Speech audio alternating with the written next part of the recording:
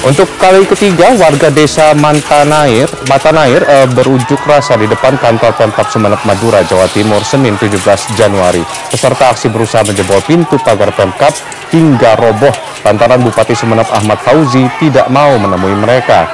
Ratusan pengunjuk rasa ini mempertanyakan kenapa Bupati Sumeneb tidak segera melaksanakan putusan pengadilan tata usaha negara untuk melantik Ahmad Rasidi sebagai Kepala Desa Matanair.